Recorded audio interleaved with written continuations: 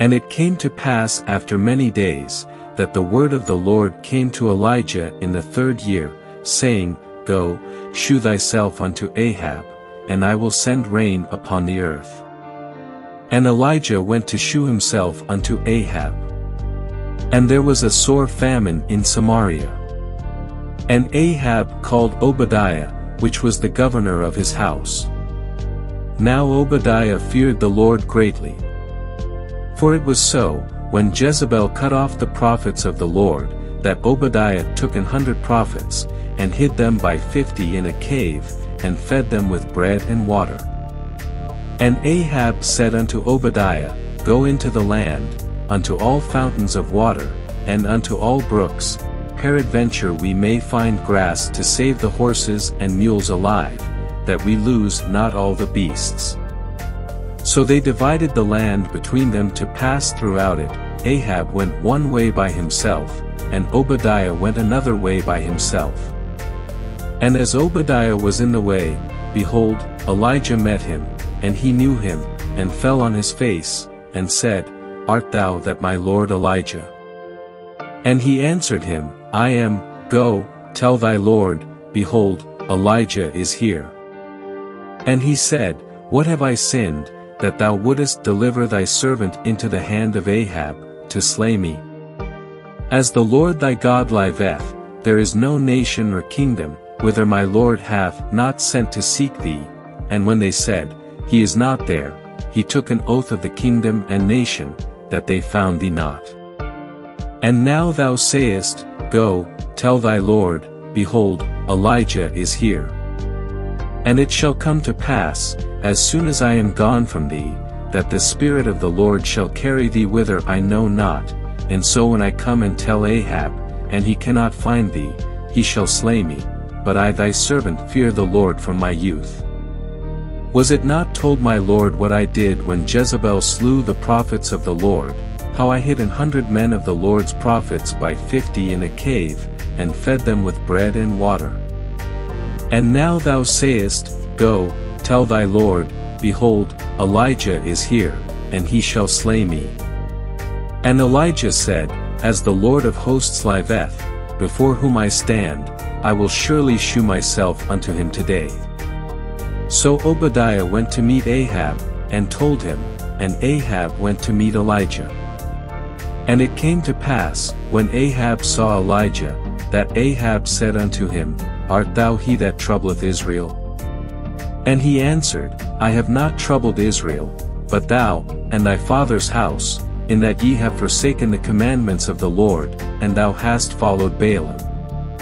Now therefore send, and gather to me all Israel unto Mount Carmel, and the prophets of Baal four hundred and fifty, and the prophets of the groves four hundred, which eat at Jezebel's table. So Ahab sent unto all the children of Israel, and gathered the prophets together unto Mount Carmel.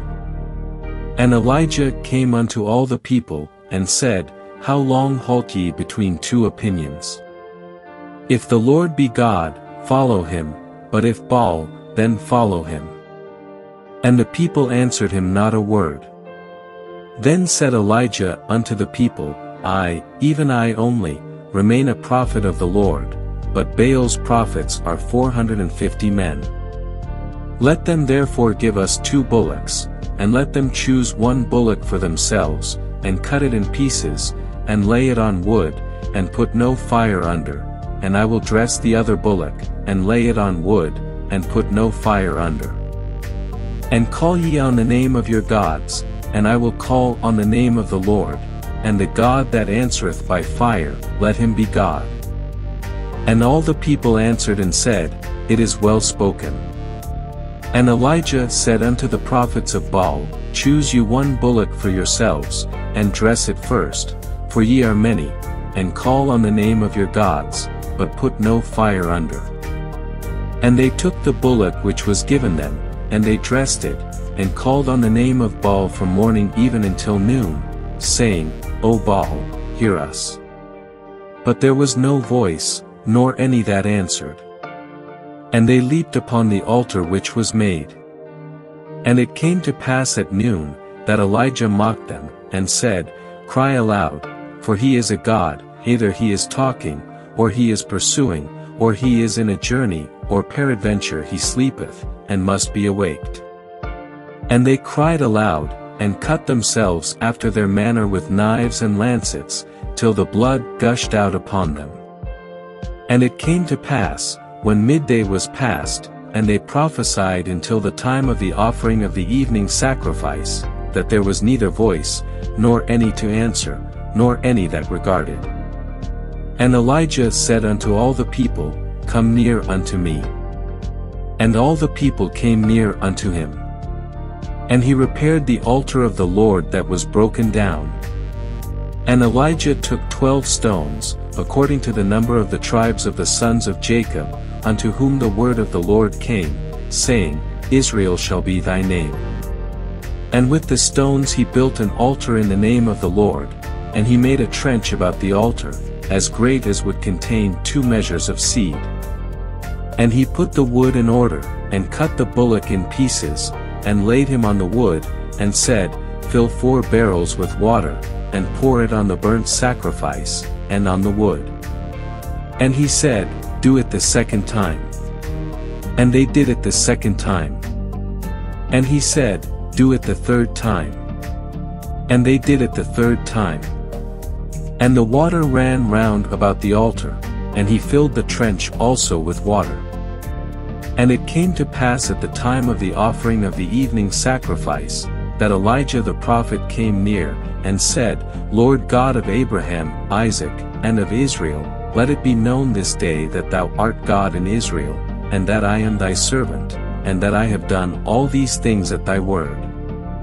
Hear me, O Lord, hear me, that this people may know that thou art the Lord God, and that thou hast turned their heart back again.